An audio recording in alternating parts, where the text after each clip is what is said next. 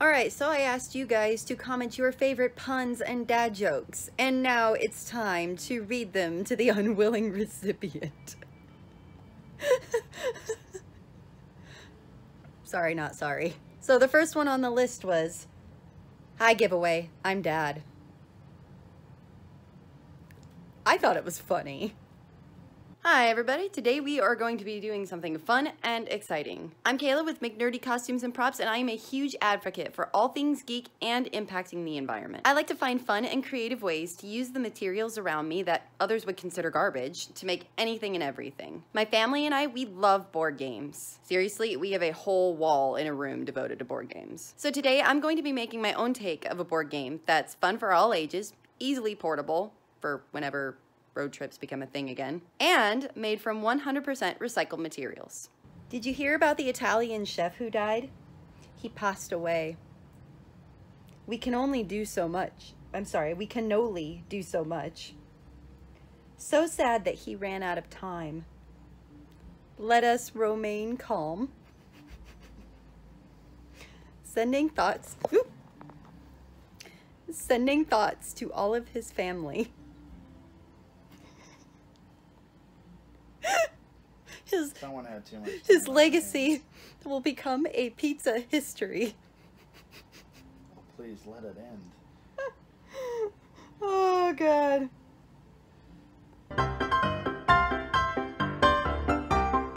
There's a lot of debate about checkers, or drafts as it's known in other parts of the world, came to fruition, but there can be no doubt that it is one of the world's oldest games. Similar games were played in the days of ancient Egypt, and even mentioned in the writings of Homer and Plato in ancient Greece. In case you've been living under a rock your entire life and you're just stumbling onto this crazy thing called YouTube, each player is given 12 flat disc pieces. The object of the game is to move diagonally and jump the other player's pieces to capture them. The game can only be won when all of a player's pieces have been taken. I'm going to be making these out of 100% recycled plastic and oh boy, is it going to be a challenge. But first, I need to clean up my workshop.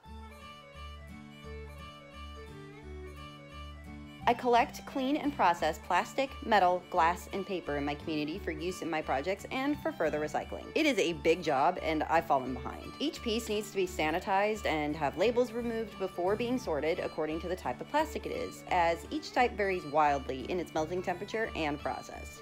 The pieces are then sorted by color, broken down, and shredded to make it easier to melt and mold into new shapes. I wish I could make a Lord of the Rings pun, but all the good ones are Aragorn. Or Tolkien. You know, either or. Too sad. Totally sitting on the floor, aesthetically pleasing, I know.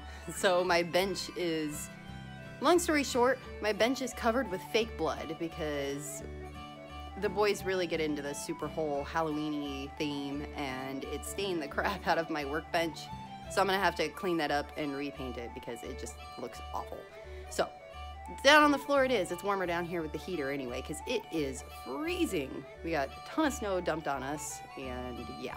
All right, so I've got this old hoe and my plan is to chop the handle up into little coin-like tokens. So my original plan was to use this. This is a mold that I use. I put the plastic in here and then the plunger just goes down in here and compresses the plastic. However, as it says so nicely on the side, this is a three inch radius on the inside of here, and that is gonna be way too big for these coins. Like, you see, like they're like the size of the palm of my hand. That's gonna be just too much, too big for the little checker tokens that I wanna make. I could use this for another project, but specifically for this one, I don't think it's going to work. So I decided to go with the wood of the hoe instead. Well, that's riveted in there.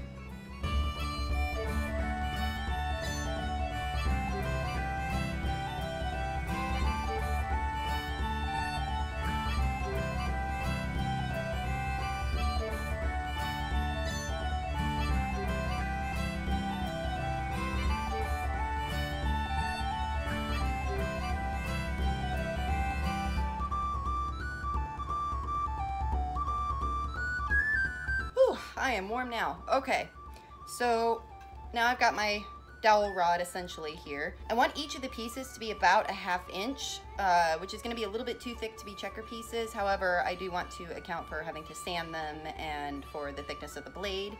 So I'm gonna show you what I'm gonna do and how I've kind of worked that out.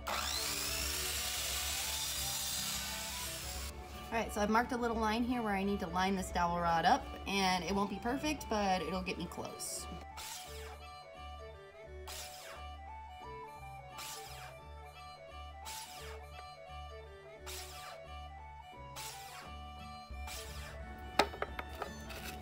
So I managed to get 38 of these in here, which leaves a few extra for kings because each side gets 12 pieces. So leaves six extra for each side for kings. And yeah, let's get these sanded up.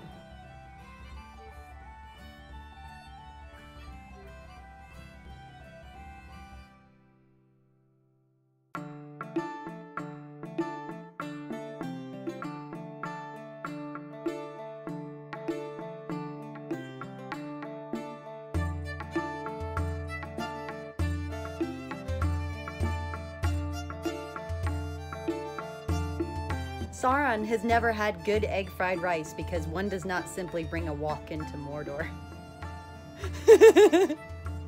oh, come on! Why can't you laugh at that one?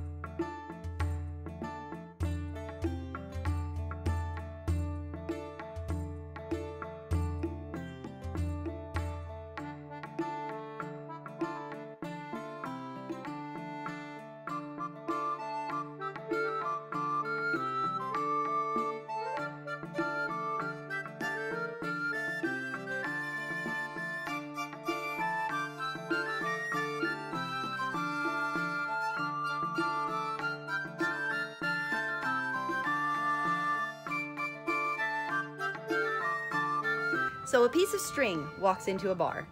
The bartender says, we don't serve your kind here. The piece of string, feeling dismayed, walks out of the bar. He ties himself into a knot and frays his ends. He walks back into the bar and the bartender says, I already told you we don't serve your kind here. Aren't you that piece of string from before? And the piece of string says, I'm afraid not. oh, that was cute. Come on. I got the two pieces right side together. It's stitched all the way down except for here up at the top side. Stitch all the way around the side, bottom, the other side. Let's turn it inside out and see how it looks. Oh, right side out, I guess. All right, there's the back side, and here's the front. It's not perfect, but I'm really happy with how it turned out, especially for not being much of a quilter. All right, I've got this little bias strip attached and this is what's going to be the casing for the drawstring at the top. So here's the bag lining. Stitch up, I'm just gonna stitch up the top real quick.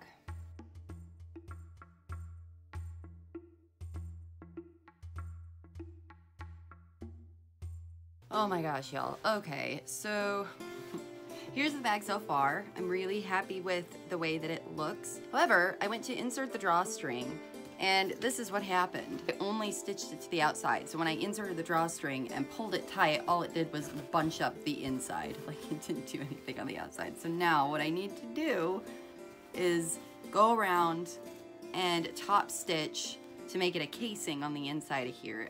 All right, now I'm just gonna, I've got a safety pin here on the end of my drawstring here. I'm just gonna insert that.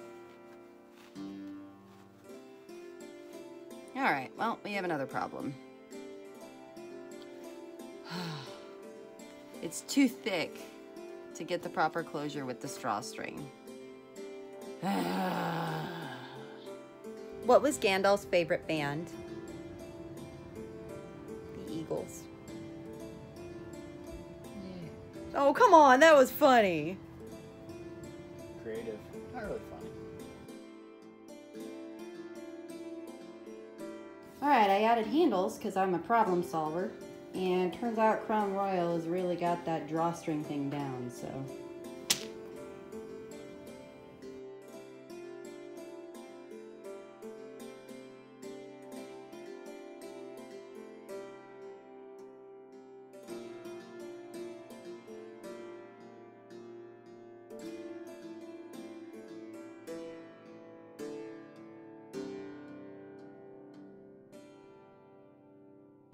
Torture. I think I know what my hell would be now. Unending puns. I think they're funny. What's long, brown, and sticky? A stick.